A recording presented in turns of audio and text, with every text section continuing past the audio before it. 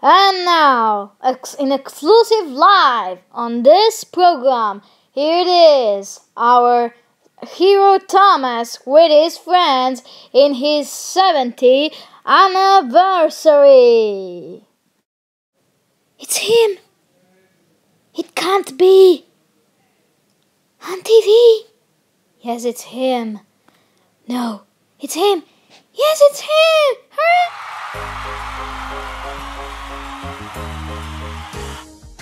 He's a really useful engine, you know. All the other engines, they'll tell you so. He huffs and puffs and whistles, rushing to and fro. He's the really useful engine we adore. He's the one. He's the one. He's the really useful engine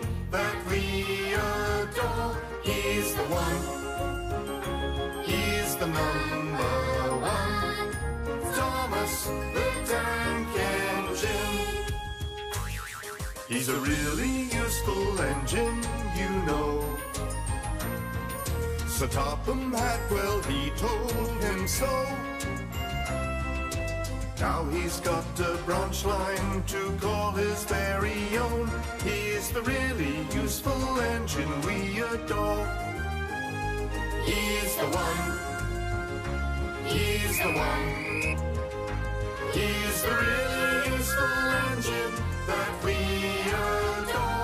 He's the one. He's the number one. Thomas the Tank Engine. Little blue train, he's always there whenever you need a hand.